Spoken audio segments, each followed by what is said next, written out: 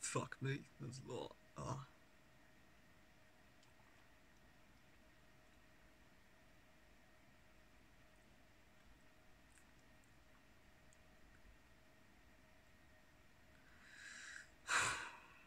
I think from my perspective, what it was like being part of the DID system was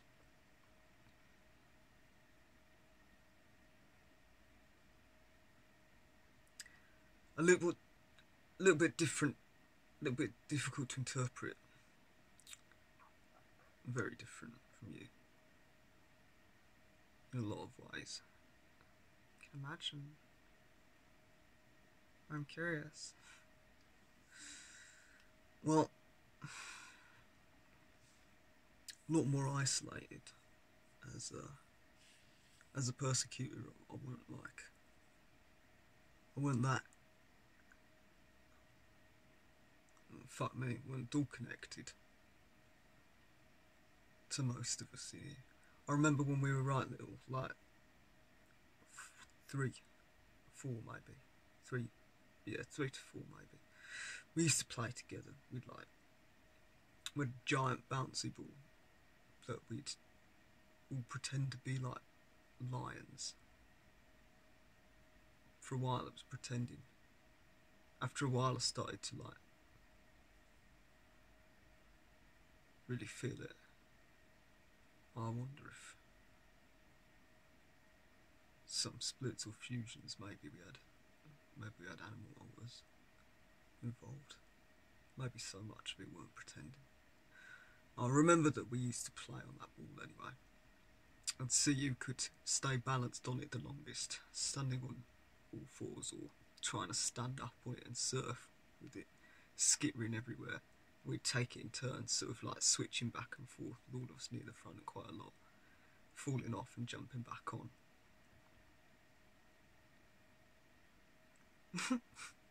or, or you, yeah, I, I was a cheating little bastard.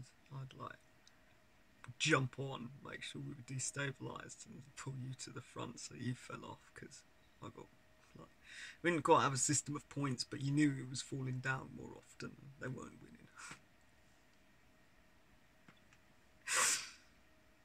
That was really fun though. Like I kinda liked trying to trying to survive your attacks and trying to just get better at like fighting you both for the front and for balance on the ball. So that was like that was okay, I don't mind that. And then, uh, I mean, fuck me, just got worse after that. It's the only time I remember us really interacting. I was a little bit. People in here were wary of me then. I was a little. a little ostracised. But, uh, nothing compared to how it, it got after like four and a half. And then much worse, going from five upwards. Uh, more shit happened. so, I held more trauma, had more memories that other people in here couldn't be around, more symptoms, higher amnesia between us, less interaction. So, uh, usually then, if I was in the front, I was in the front alone, and nobody could reach me. I couldn't reach them. And, mate, being alone in part of a DID system when you're cut off from the others in here, it's. It's like the deepest, most eternal fucking loneliness that I think could be offered. Feels like he's sinking into an inky black fucking void. It's completely desolate. So then, a lot of rage. And the exception of her, I didn't get on right well with the host. But, um, me and Kyrie hung out a bit. My idea of playing was, I think my therapist called it sadistic. So, not an awful lot of uh,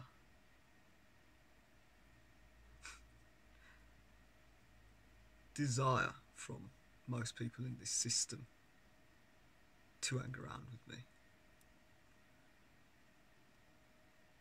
And I know how much was anyone's choice anyway if they couldn't even reach me through. Like, it's like massive thick walls of impenetrable fog.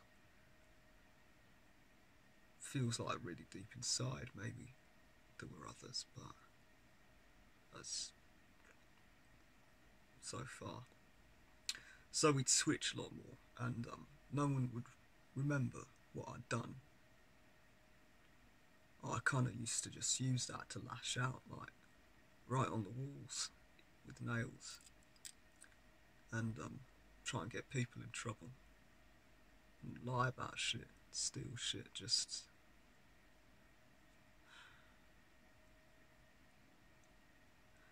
I didn't really think about it at the time. I was pissed off at everything. I was sort of not cognitive enough to interpret or analyse what I was doing or what I was doing it. I was just reacting, respond to fucking everything.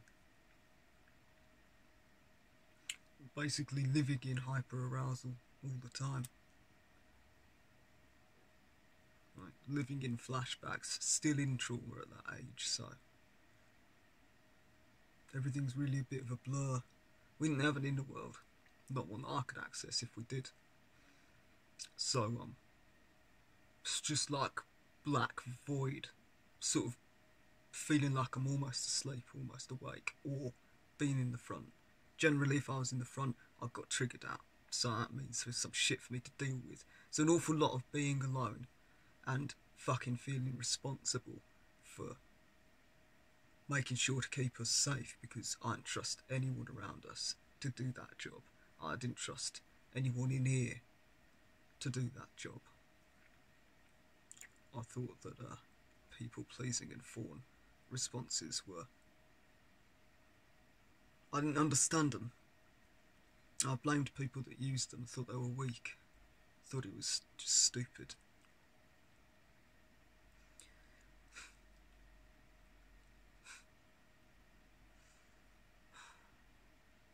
I do consider myself, you know, with a lot more um, understanding about it now. I see how it's protective.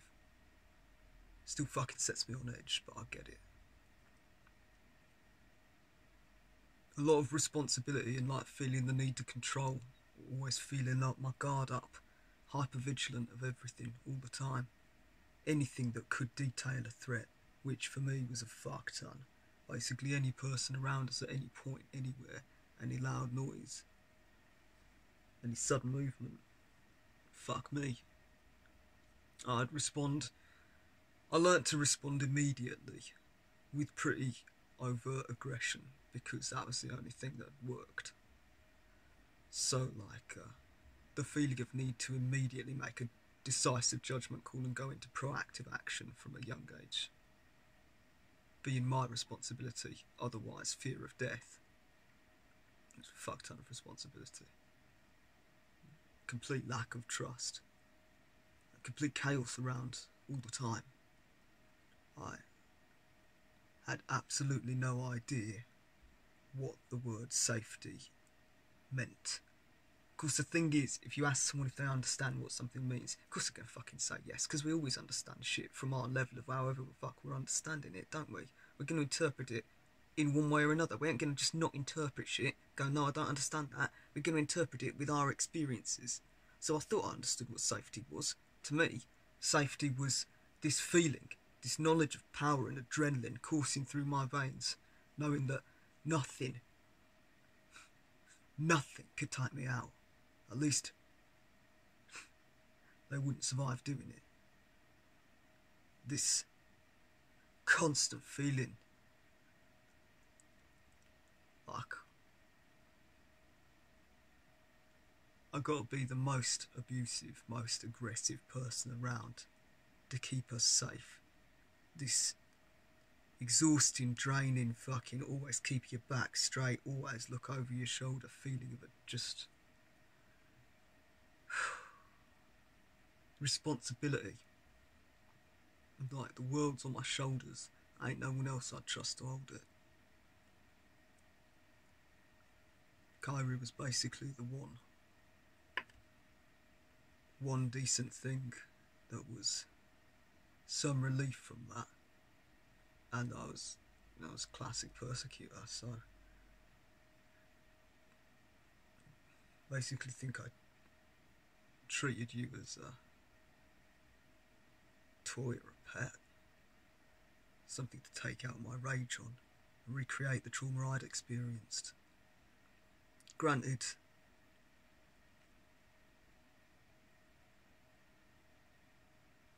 I was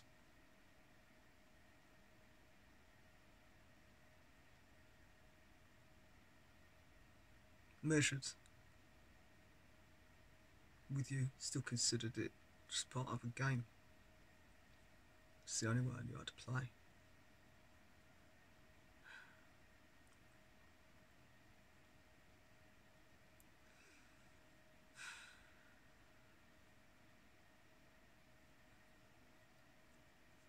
I don't blame you for any of that.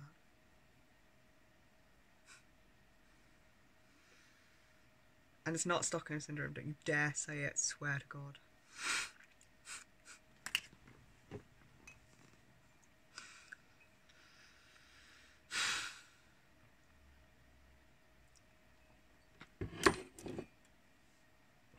I started to believe you on that one.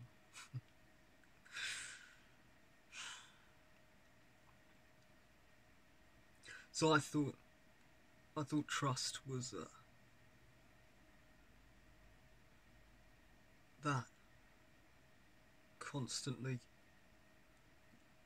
watching for your moment to take over control of the situation, the person, to react, knowing you've always got to like size up your situation and know what cards you got to play to deal with it because whoever else is around you is gonna fuck it up. So you're just waiting for them to fuck it up so that you take over. Was my interpretation of the word trust and safety. Both of them.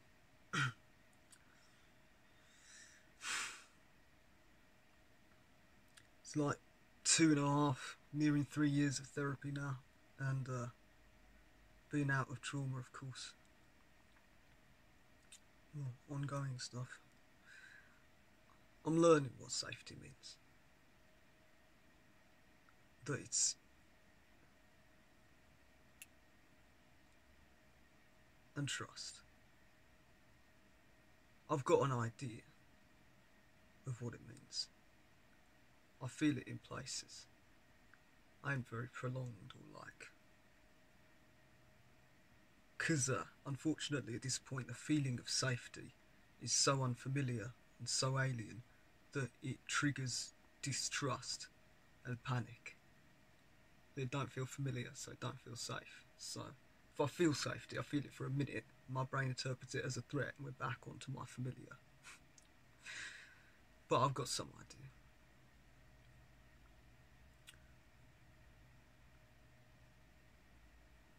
Basically, um, the responsibility and the feeling like I had to keep us safe carried over onto how I interacted with people in here. I thought that if I was more abusive, more aggressive than anyone outside of us, I mean, A, they wouldn't fuck with us.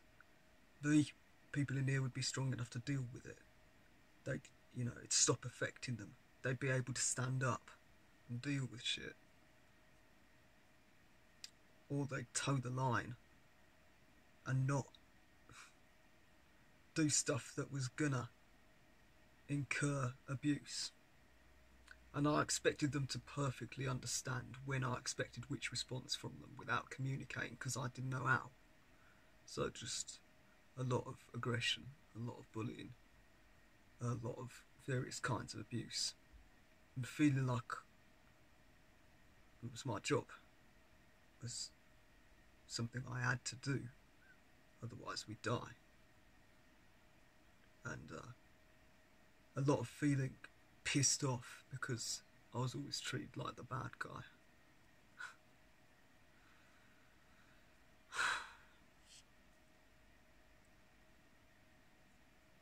a lot of feeling like people in here were just stupid, naive, and ungrateful, didn't understand.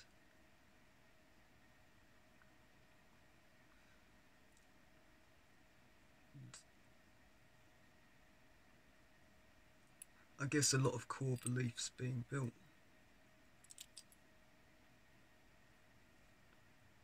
So now my response is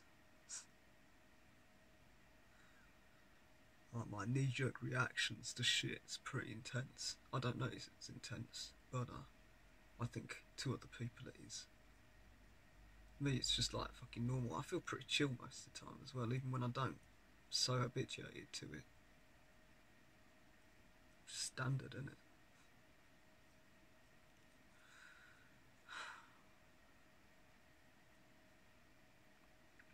A lot of like trying to get people to understand me, I guess, and wanting people to see me while making it fucking impossible for anyone to ever understand me or see me because I couldn't I couldn't have people know I needed that because that weren't safe. Having needs, fuck that. Having any sort of emotional response, nah, couldn't have that. So I think hence all the stealing, breaking shit. Got given a doll's house at one point and I just attached sandy blades to a Beyblade and fucked it up, which was really fun. To be fair, I do remember, like, after you'd done it a bit and I was a bit panicked, and then I was like, the windows do make a neat smashing sound. Can I try? And you let me fire the Beyblade and break some windows. We took it in turns, so that was kind of fun. And then we hid it under the bed and were panicked about what the host part would see. And then the host part of me found it and freaked out about getting in trouble or like. We would never have gotten in trouble like badly compared to what other systems have. But it was the feeling of we didn't want the response of people being angry and disappointed. That felt like. Man, that felt like that really did a lot of shit to me. So that was like dread. Had to avoid that. It was really intense, and um, kind of felt like we weren't safe. So I was hiding that, but it was fun. I do agree.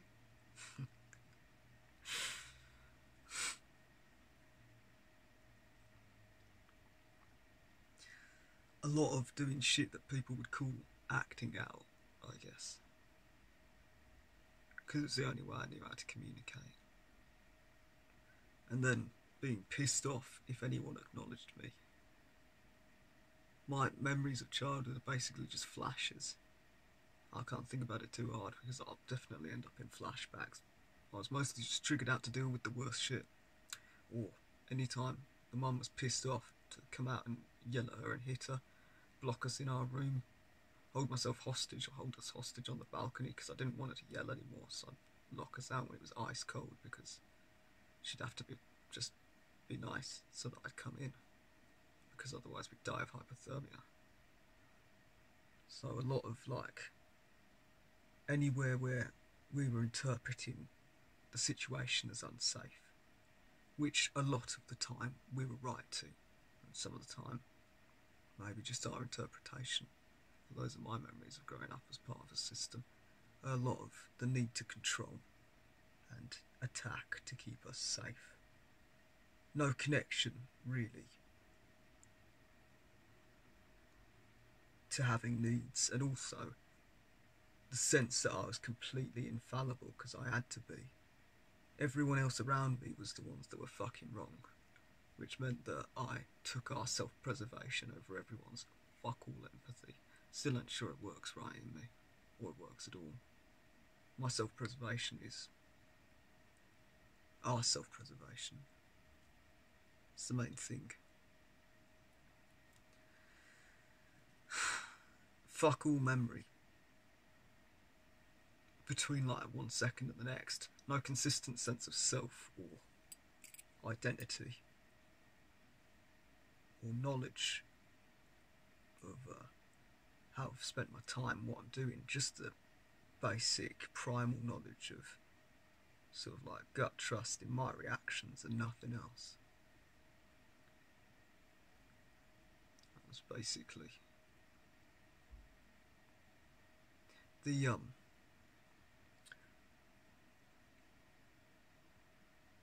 the knowledge that a trigger would hit and it would make me act either recreating physical abuse or sexual abuse that we'd endured or emotional. And fuck me verbal and mental were just sort of standard for the days.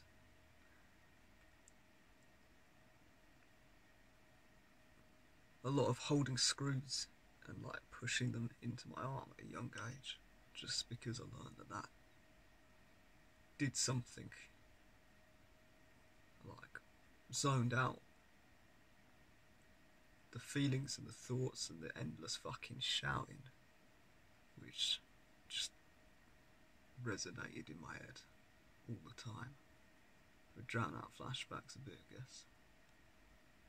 Living in those. Living in hypervigilance. Not really having any connection to any emotion other than rage.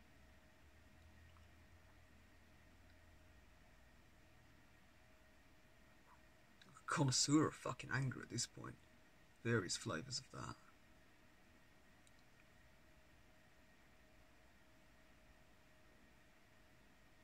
Not really an awful lot else relief. Usually. If I was aggressive, if I made someone back down, if I dealt with a situation. Strong moments of relief. Rage and relief.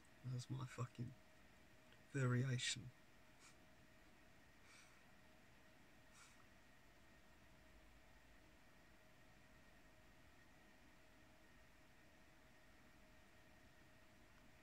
sort of crushing loneliness, but like Kyrie always wanted to hang out with me. And I think I was relieved for that a lot. And also, it would really piss me off. I'd keep trying to push you away. Like, I'd be pissed off not understanding why you wanted to hang out with me. Be like, fine. Then I'm gonna make you regret it. Then like with the doll's house, he was just joined in, and you didn't seem that off put. It didn't matter what sort of freakish, dangerous situations I got us into, like testing the waters, going down really steep fucking hills on skateboards, or climbing to ridiculous heights, leaning over the edge, skiing down really steep hillsides on backpacks, you just you kind of just learn.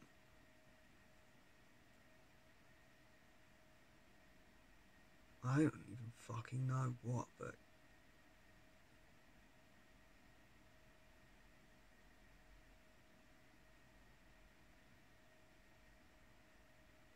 you look like you were having fun. You were never scared when I expected you would be. And goddamn, did I try. if it's any consolation, you terrified the shit out of the parts of me that were host. Whenever I'd like have moments of being aware, I'd like have flashes where I'd suddenly be aware and be conscious and have like what? Like where are we? What? We're like like skiing down the hillside, like a moment of seeing it and then gone and then later I'll be aware again and conscious and be like I don't remember the day.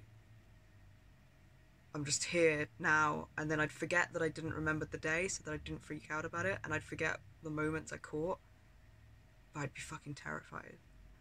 And um, as the other part of me, no. You didn't really scare me. I thought you were really fun. I thought you had a great idea of, like, sense of adventure. I'm sorry crazy bitch.